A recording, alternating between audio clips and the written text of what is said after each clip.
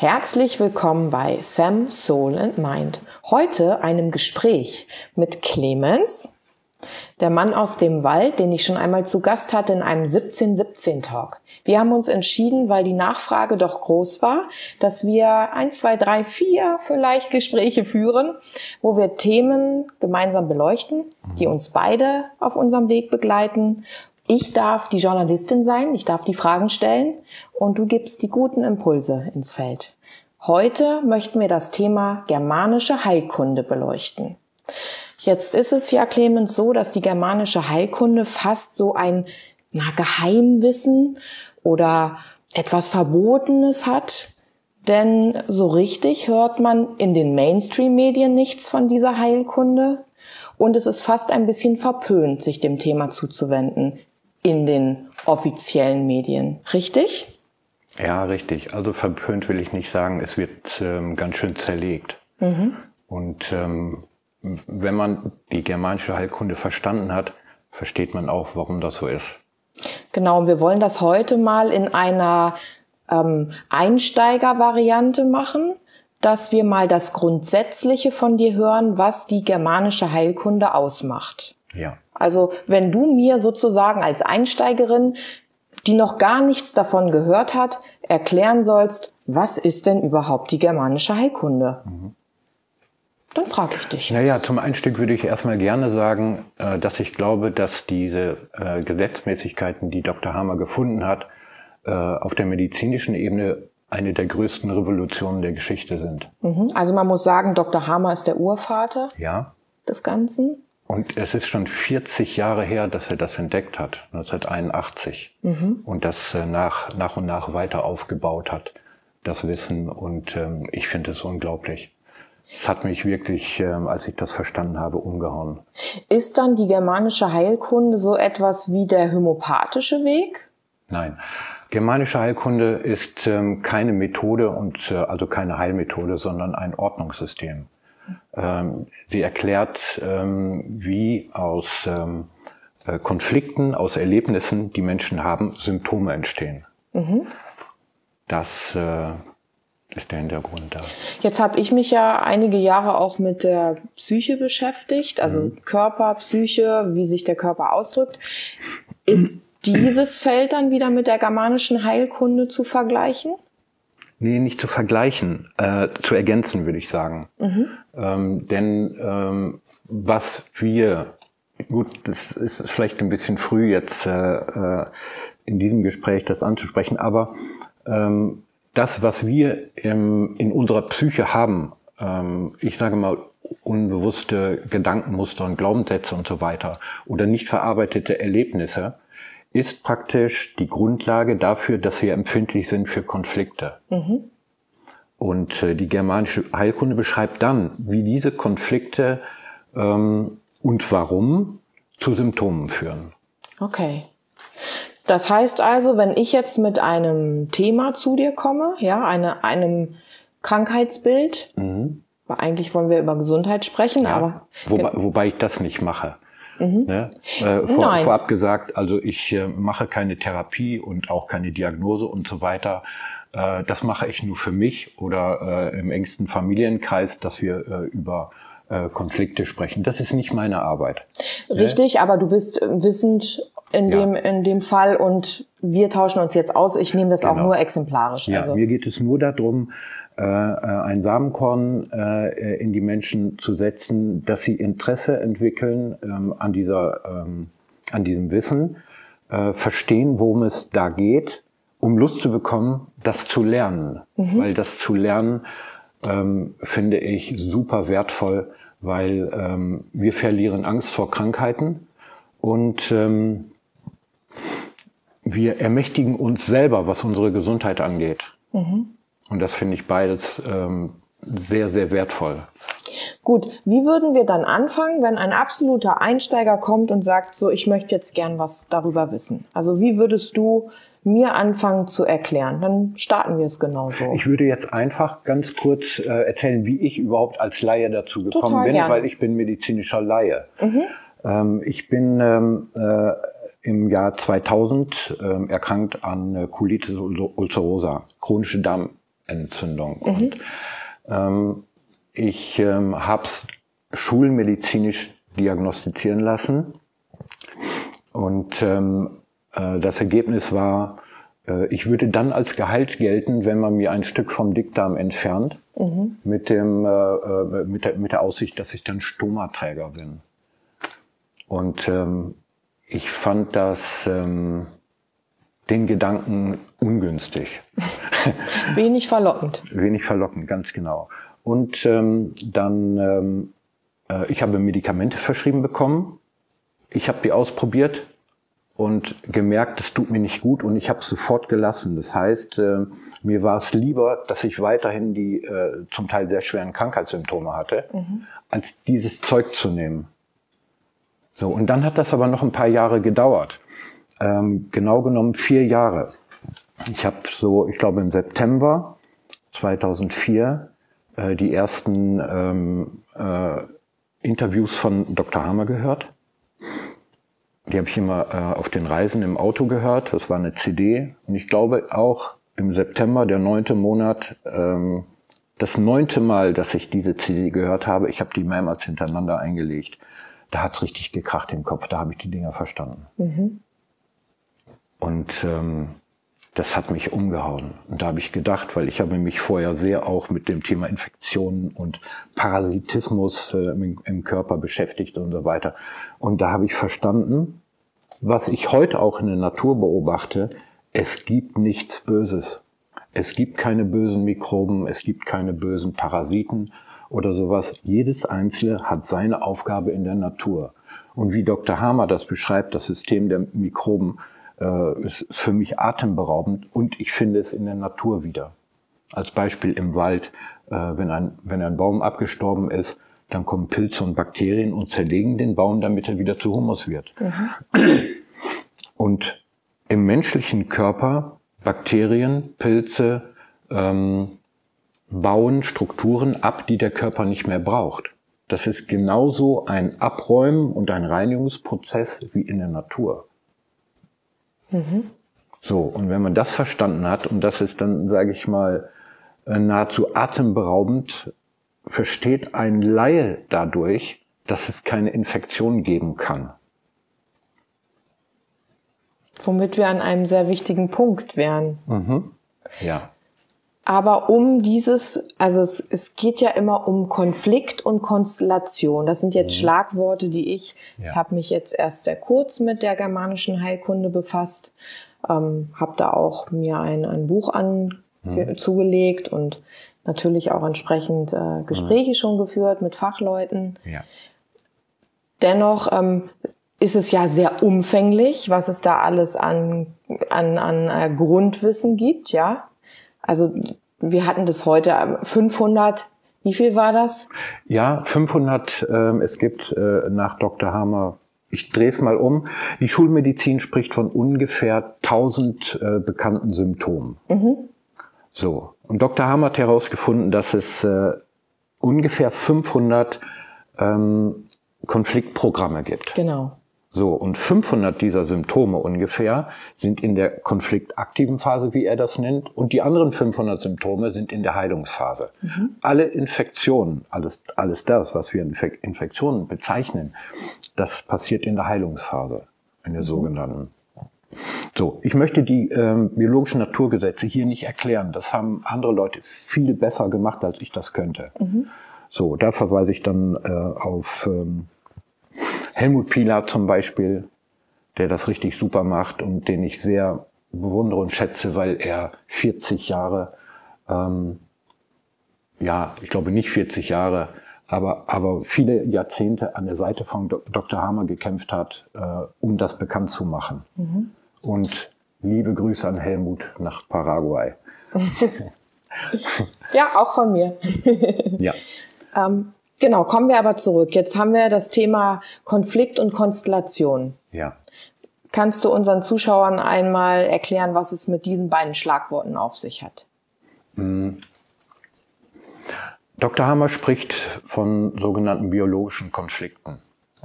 Das sind äh, Konflikte, die äh, uns ganz plötzlich treffen, ähm, wie er sagt, auf falschem Fuß, die wir nicht konfrontieren können und ähm, die äh, dann durch, durch ihre Energie sozusagen eine, äh, eine Schaltung im Gehirn verursachen. Eine, ähm, das ist, äh, ich würde das heute als energetischen Einschlag bezeichnen, mhm. weil ich habe später auch geschaut, wie kann man dieses Thema der ähm, biologischen Naturgesetze von Dr. Hamer mit anderen Heilmethoden verbinden, zum Beispiel mit der Energetik. Ich dazu sagen, kommen wir dann aber in einem anderen Video, genau. das hatten wir schon. Es ist also ein energetischer Einschlag und der verändert eine Schaltung und die Ansteuerung eines Organs. Äh, die Ansteuerung eines Organs wird verändert. Hm. Passiert das zweimal, ne? dann ist es eine Konstellation. Ja, wenn, gut, das ist jetzt ein fortgeschrittenes Thema, so weit muss man jetzt gar nicht gehen. Denn äh, äh wenn ich äh, die germanische Heilkunde lernen möchte, äh, dann wäre das gut, äh, wenn ich, wenn ich weiß, was auf mich zukommt, was, was ich lernen sollte. Und äh, äh Dr. Hamer spricht von fünf biologischen Naturgesetzen. Mhm.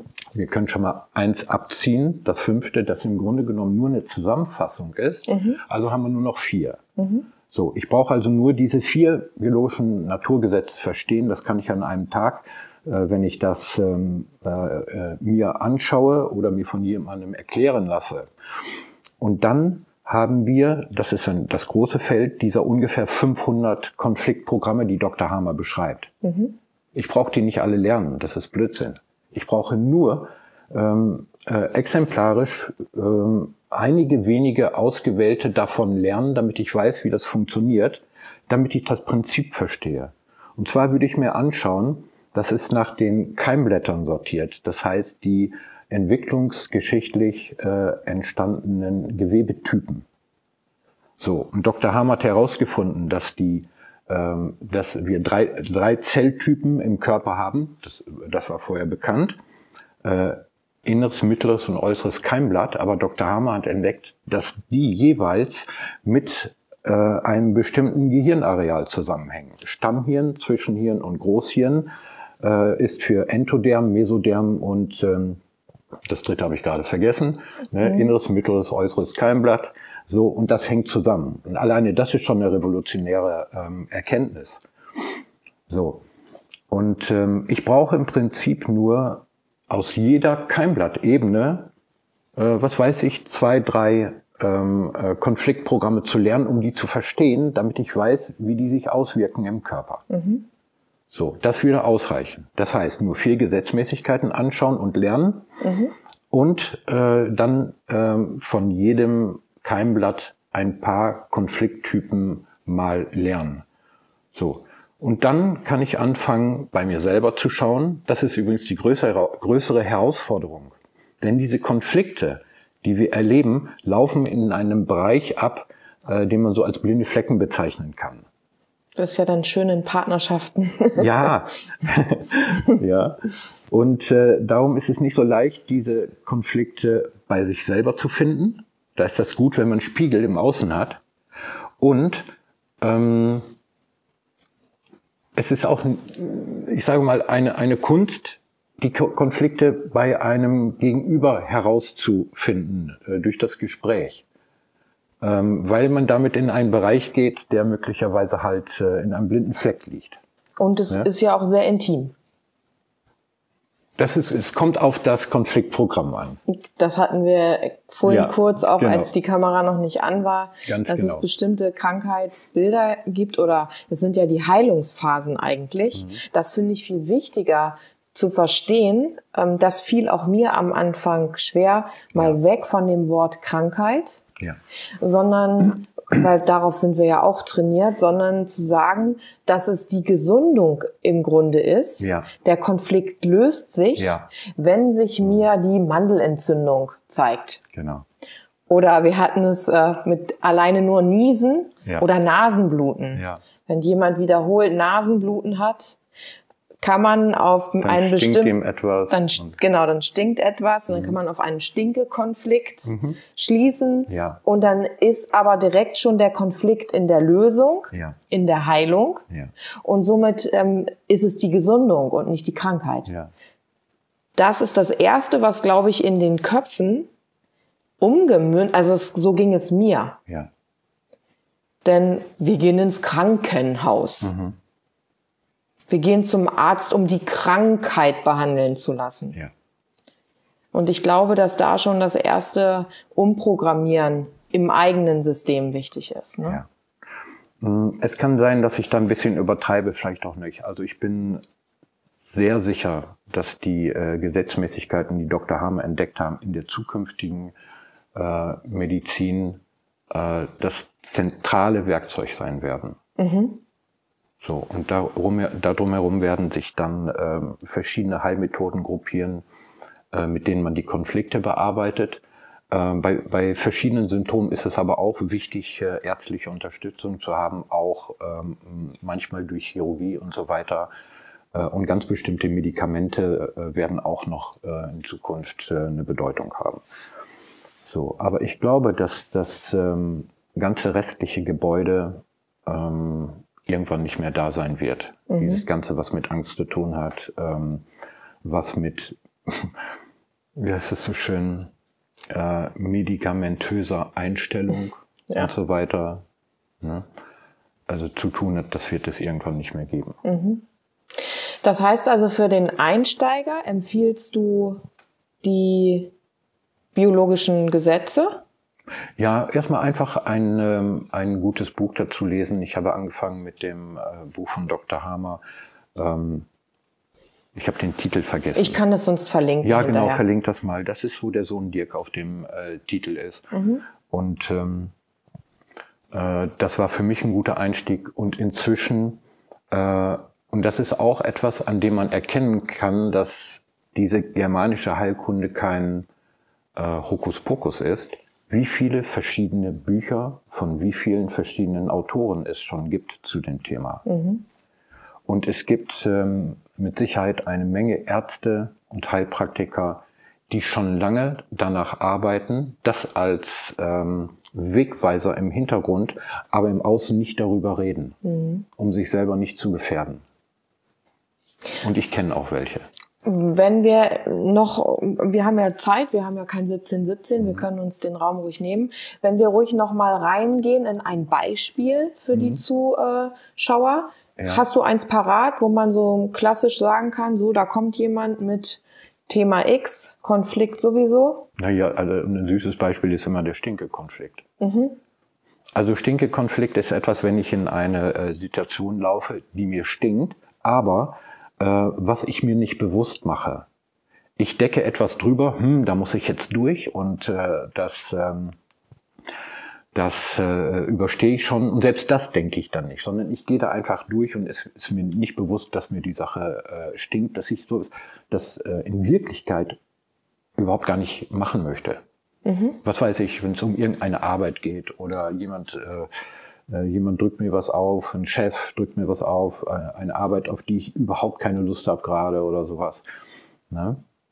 Also dann wird sozusagen ein, ein äh, werde ich konfliktaktiv, was die äh, Nasenschleimhäute angeht. Und ähm, wenn diese Situation dann zu Ende ist, ähm, dann äh, merke ich, dass äh, sich das in der Nase wieder löst. Irgendwann fängt das an zu kitzeln und dann niese ich. Mhm. Und das Nieren ist sozusagen äh, der, äh, der Mittelpunkt des Heilungsprozesses. Das wird hier in der germanischen Heilkunde epileptoide Krise genannt oder Epikrise genannt. Mhm. Ja? Und ähm, das wäre eine ganz einfache Geschichte. Mhm. Ich habe damals ähm, schon sehr lange gebraucht, um meinen eigenen Konflikt zu finden, äh, was die Colitis angeht. Ähm, weil das Thema unglaublich lange her war. Das wäre jetzt meine nächste Frage ja. gewesen. Wie mache ich mich dann, also wir hatten es einmal schon, blinde Flecken und ja. auf die Suche machen bei sich selbst gar nicht so einfach. Ja. Wie gehe ich denn am besten vor? Ähm, wenn, ich, ähm, wenn ich tatsächlich jetzt äh, den Konflikt finden möchte, ich war damals noch nicht so äh, zielgerichtet unterwegs. Äh, ähm, im Grunde genommen war das ein Symptom schon, wenn auch, äh, sag ich mal, abgeschwächt oder heruntertransformiert, wie Dr. Hammer sagt, äh, noch Teil meines Lebens, aber ich habe äh, nicht mehr so viele Schübe bekommen. äh, die Colitis verläuft in Schüben. Das hat damit zu tun, dass das Konfliktthema wieder hochkommt und wieder gelöst wird und so weiter. Und ähm, äh, dann hast du dich irgendwann auf die Suche gemacht oder, oder wie bist du dann drangekommen? Wie alles, weil ich hatte im Leben immer Fragen, äh, gerade äh, zum Thema Gesundheit. Äh, und wenn ich eine Frage in den Raum gestellt habe für mich, äh, dann äh, zack kam irgendwann eine Antwort. Mhm. Oder es kam jemand in mein Leben, der mir da was, äh, der mich da ein Stück weitergebracht hat. Mhm. Das passiert bis heute so. Gut, aber dann bist du einfach auch vom Bewusstsein an der Stelle wach dafür. Weil bei ganz vielen, glaube ich, ähm, das ist ja so viel drüber gepackt. Also ich kann das noch aus meiner Vergangenheit sagen, bevor ich angefangen habe, mich auf den Weg zu machen, ja. Ja. Und das hat jetzt auch viele Jahre gedauert, die so, ich nenne es immer Zwiebelschichten, ja. Ja. Hab mich so, mhm. möchte ja auch nicht ins ja. Wort fallen. Also, nee, alles gut. Ich weiß, was du meinst. Also dieses ähm, äh, Ding mit dem Bewusstsein ist etwas, was sich äh, ähm, langsam entwickelt äh, und dann beschleunigt, äh, wenn man es bewusst aufnimmt, äh, dass man etwas verändern möchte bei sich selber. Ähm, irgendwann kam, kam das wie eine Erkenntnis, poff, das war der Konflikt. Und das ist auch eine sehr persönliche Angelegenheit, die, die erzähle ich nicht. Nein. Und, äh, äh, und dann habe ich realisiert, ich war zwölf Jahre konfliktaktiv. Mhm. Dann wurde der Konflikt gelöst. Und äh, dann ging diese Colitis ulcerosa los. Und als ich dann damals das äh, nach dem Zeitstrahl, den Dr. Hammer erklärt, mir angeschaut habe, äh, war dieses Gesetzmäßigkeit diese, dieses zeitlichen Ablaufes äh, für mich genau erkennbar. Und das hat hundertprozentig zusammengepasst. Konfliktentstehung, Konfliktlösung. Und ich wusste ganz genau, oh, äh, jetzt, ich weiß nicht mehr, da in zwei oder drei Jahren werde ich eine epileptische Krise haben. Und ich wusste, wenn ich nichts tue, ist, äh, sind die Symptome in zwölf Jahren weg. Mhm. Oder in sechs oder in zwölf Jahren, also in diesem, mhm. in diesem äh, Zeitraum. Helmut, hilf mir. Nein, der ist weit weg. ja. Nicht wirklich. Ja. So, und ähm, äh, dann habe ich mich auf den Weg gemacht und habe mir ähm, alternative Heilmethoden angeschaut. Ich habe viele selber ausprobiert und ähm, äh, bin dann, dann auf die Spur gekommen, dass es darum geht, dieses Konflikterlebnis also ähm, wir haben Hunde übrigens, die äh, uns hier so ein bisschen zuhören und alle Nebengeräusche sind dann entsprechend zu verzeichnen. So. Ja. Also das ja. finde ich auch schön mit den Hunden. Also auf den Weg gemacht zu dem Konflikt und äh, dann war der Zeitstrang. Da wollte ich nämlich sowieso noch reinfragen. Ja. Das heißt, kann ich dann mit äh, unterstützenden Mitteln, äh, Kräutern, Tees, was auch immer, es gibt ja ganz wunderbare Methoden, ja. seinen Körper zu stärken, diesen Zeitstrang verkürzen? Mm. Ich würde das so erklären. Also dieser Konflikteinschlag ist ein energetisch informelles Phänomen ähm, sag ich mal, auf der physisch-energetischen Ebene. Und ähm, auf der psychischen Ebene ist das halt ein äh, blockiertes Schockerlebnis sozusagen. Ähm, es geht darum, dieses blockierte Schock Schockerlebnis, ähm, das im Moment des Erlebnisses eingefroren ist, mhm. aus diesem Grunde ähm, im, äh, ja, zum Symptom führt. Äh, das anzuschauen und aufzulösen in dem Sinne, dass es mich nicht mehr belastet. Mhm. Das heißt, ähm, äh, ich tue etwas, dass ich diese, dass ich lerne, dieser Situation, ähm, äh, sag mal, mir gelassen anzuschauen und äh, vielleicht sogar äh, äh, irgendwann drüber lachen kann. Mhm. Das ja? heißt also, Einschlag, ja. einfrieren. Ja. Erst ab da, wo ich feststelle, also den Konflikt identifiziere, mhm. es aufblühen lasse, im wahrsten Sinne des Wortes, mhm. beginnt der Zeitstrang, der allgemeingültig als Krankheit bezeichnet mhm. wird, laut germanischer eben der Heilungsprozess bereits ist. Also diese Blühzeit mhm. ist dann das komplette Ablösen. Und da gibt es einfach Zeitfolgen. Das heißt, je länger das eingefroren ist, der Konflikt, je länger dann auch später die, die Blütezeit. Mhm. Richtig verstanden?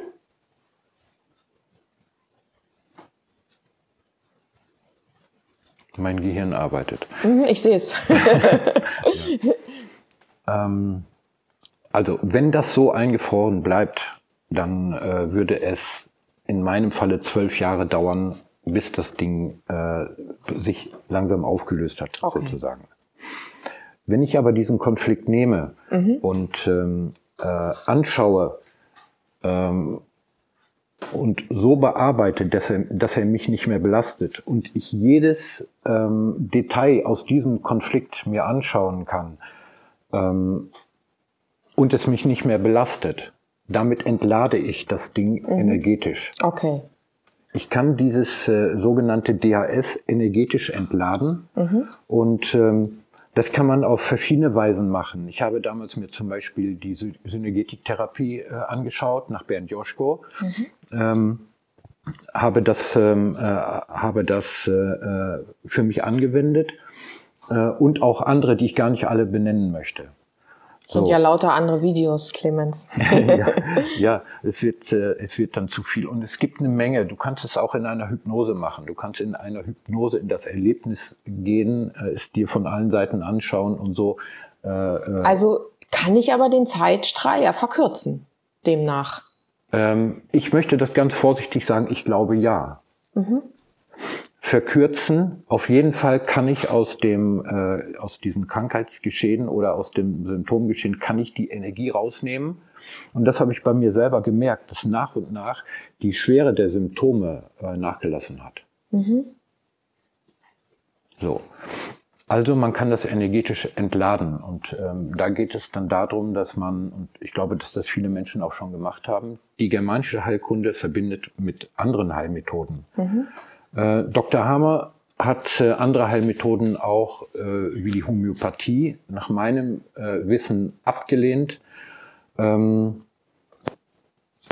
mein Denken ist es eher, die alle zu integrieren, weil wenn man sich die genauer anschaut, wie die Sachen funktionieren, findet man die Dinge, wo die, wo es Berührungspunkte gibt, so dass alles ein grö größeres ganzes Bild gibt. Genau, das ist ja immer der Ansatz in unseren Gesprächen. Wir beide mögen es sehr ganzheitlich mhm. und, und versuchen immer noch mehr Stücken zusammenzusetzen. Ich möchte auch mit dir da äh, zum Thema systemische Arbeit, es wird aber auch ein gesondertes Video, mhm. morphisches Feld, mhm. die Ahnengeschichte ja. noch äh, arbeiten. Wie geht äh, Hammer denn damit um, dass du ja auch bestimmte Pakete, sage ich mal, aus dem ja, Familiengenerationen mittragen kannst? Ähm, das kann ich konkret nicht beantworten. Mhm. Ähm, äh, Dr. Hammer wurde dafür auch ähm, äh, kritisiert, dass er andere Methoden ablehnt. Ich würde das ähm, äh, so gestalten. Dr. Hammer hat dafür gesorgt, dass sein Gebiet wissenschaftlich sauber abgegrenzt mhm. bleibt. Und das äh, halte ich äh, auch für sehr wichtig. Weil Dr. Hamer hat äh, wissenschaftlich betrachtet äh, wie ein äh, sauberer Wissenschaftler gearbeitet. Mhm. So, und äh, viele andere Themen, die äh, aus anderen Heilgebieten kommen sozusagen, auch was Energetik angeht, ähm, die, die äh, würden das Ganze jetzt wahrscheinlich vermischen und aufweichen. Das ist etwas, was sowieso passieren wird äh, und auch schon passiert ist, dass äh, äh man weiß, wie Energetik äh, in diesem Konflikt geschehen und in den Hamerschen Herden wirkt. Mhm. Ja. Ja, okay. Ist die Frage, ob wir es dafür den Einstieg einmal lassen und lieber in einem neuen Video nochmal spezifischer ähm, Informationen bringen. Ich würde fast sagen, mhm. klingt mir sympathisch, meine eigene Idee. ja. ja. ja, gut. Wir behalten einfach die Position ein und es gibt einen Teil 2 gleich im Anschluss. Nur dann können die Zuschauer auch einmal auf den Pause-Knopf drücken oder ausknopfen, gibt es ein neues Video. Mhm. Ja, danke, Clemens. Gerne. Vielen Dank fürs Zuschauen mit einem Lächeln.